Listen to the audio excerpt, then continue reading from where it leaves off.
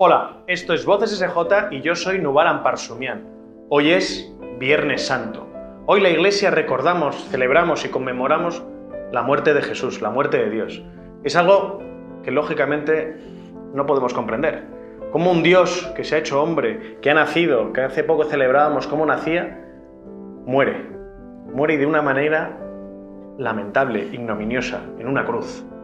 Pero no es una muerte sin sentido, no es una muerte que se queda ahí, clavada.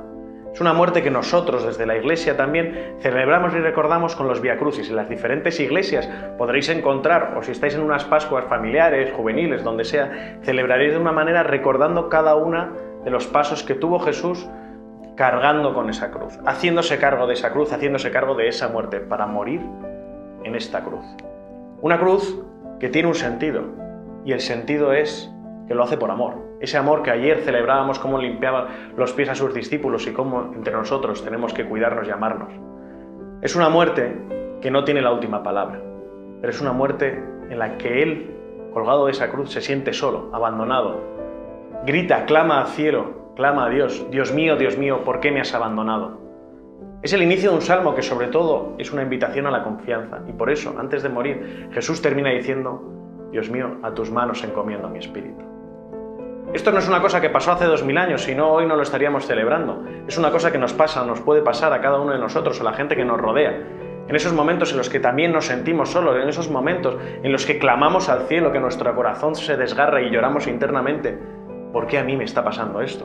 ¿Cómo puede ser posible que esto esté pasando? Dios, ¿dónde estás? San Ignacio dice, contemplar cómo la divinidad se esconde.